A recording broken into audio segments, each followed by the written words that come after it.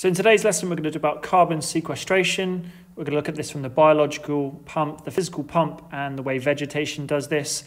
And this is part of the A-level OCR uh, specification for geography. And I've highlighted the section in 1.c, which um, we need to know about. So carbon sequestration, the definition is where uh, atmospheric CO2 is captured and stored um, in other stores, taken out of the atmosphere and put into other stores. So these other stores can be forests, soils, oceans, or the geology of Earth. I'm going to start by looking at the biological pump. This is really significant. It happens in the oceans. We've covered it slightly um, in the slow carbon cycle, but it's significant because it um, sequesters, uh, stores 50 gigatons of carbon dioxide every year. So it's a really significant uh, area for carbon sequestration. So the basic process starts with diffusion, and this is where carbon dioxide in the atmosphere is absorbed by the ocean and dissolves in the surface ocean. We then have the uh, microscopic uh, organisms in the surface of the ocean known as phytoplankton. They use this dissolved carbon dioxide for food and to build their structures, uh, including their skeletons. So they turn the uh, dissolved carbon, carbon dioxide into organic carbon compounds, which is their bodies uh, and their structure. What happens next is these uh, phytoplankton are part of a food chain, and the carbon that's stored in their shells and structures is absorbed by other parts of the food chain who are similarly absorbed. This means that the carbon uh, in these compounds is passed down the food chain um, as other marine compounds, um, as the marine creatures can consume the compounds. So the, the phytoplankton carbon is absorbed by the zooplankton, which is absorbed by the krill, uh, and then later by the crabs. These are all um, living creatures in the ocean, and so they will uh, respire, and therefore they will actually release some of the carbon dioxide back into the ocean. They also will naturally die at some point. And so when they die, uh, the carbon that's locked away um, will actually start to sink to the bottom. So all those compounds sink, and over many thousands of millions of years, they will actually accumulate as carbon rich um, kind of remains, which turn into kind of sediments at the bottom of the ocean. On that, on the way down to the bottom of the ocean, a really, really key way in which carbon um, is brought down from the surface is the fact is as they sink, what happens is bacteria um, attacks uh, these uh, carbon creatures and it actually um, helps them to decompose. So it breaks them up in the same way that fungi would help a tree break up in the biosphere. And what we know about decomposition is when you're breaking something down, it releases CO2. Because this is happening as it sinks, it actually releases that CO2 into the deep ocean. So the breakdown of these creatures and the way that they're falling um, from the surface as they die is a really important um, factor in how carbon dioxide and carbon actually gets into the deep ocean. It's not as significant that actually makes it down to the sediments at the bottom, it's only 1.2%, but the way in which the carbon goes from the atmosphere and ends up um, in the deep ocean and sediments is, is a really important process that we need to know about. I'm now going to talk about the physical or solubility pump. So, as we've said before, we know that CO2 is diffused in the surface um, ocean.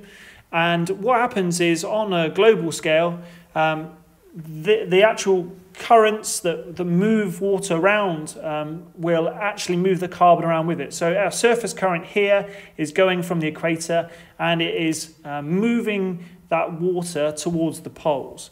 So what will happen though is when this surface current, which is full of CO2, gets to the coal, um, gets to the, near the poles, um, that water cools down.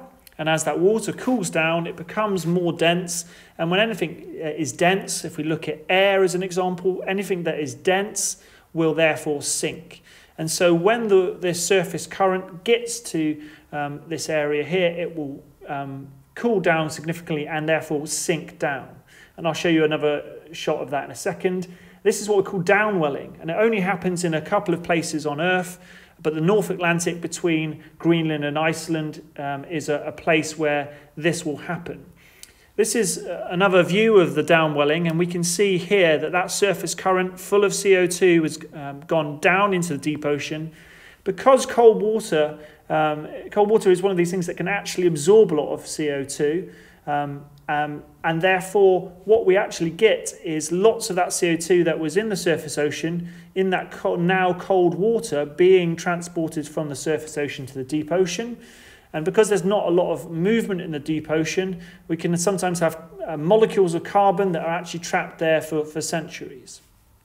The carbon doesn't just stay there forever and ever and ever, though, because while I've highlighted that area where we've got downwelling, there is points on Earth, that the, the water doesn't just stay in that one location, it moves around um, on this kind of circulation. And there is areas where those deep ocean currents eventually will rise to the surface. And these are um, per periods that are called, places that are called upwelling. So I've circled a couple of them here. And that is where the, the deep oceans, um, water from above it gets moved out of the way by uh, surface winds. And that allows that deep oceans uh, water to kind of come to the surface. And all of that CO2 that's been trapped in the deep ocean is eventually diffused back into the atmosphere. Normally this happens in warmer areas, so near the equator, and where uh, the water is warm, it can't actually hold as much CO2. A bit like a can of Coke on a warm day, it can't hold the gas. And so when the water gets warmer, that rapid diffusion of CO2 back to the ocean. So if we have warmer waters, what we'll get of is less downwelling and potentially more CO2 actually diffusing back into the atmosphere. Last thing to talk about is how vegetation um, sequesters carbon. So we know the basic idea that trees use uh, photosynthesis to absorb carbon from the atmosphere and then they will store it, as you can see here, in the leaves, but also in the stems and also in the, the trunk and the roots of the tree. So that carbon it's where they've converted it from a gas into an organic compound and it gets stored in those areas. So it can stored in lots of various areas of the tree. Also, it's a living thing, so it respires. So some of that carbon dioxide is released back into the atmosphere. And also, like the marine organisms, partly it will die. And so we can see the leaves that are here dying, and that means they will decompose when bacteria and fungi work on them.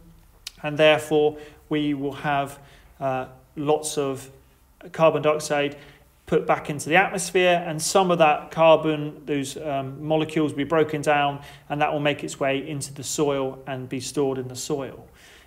One, one obvious thing to mention here is if we plant more trees, we actually will absorb more carbon from the atmosphere. And if we cut, more, cut down more trees, we deforest more trees, then more of the carbon will stay uh, in the atmosphere.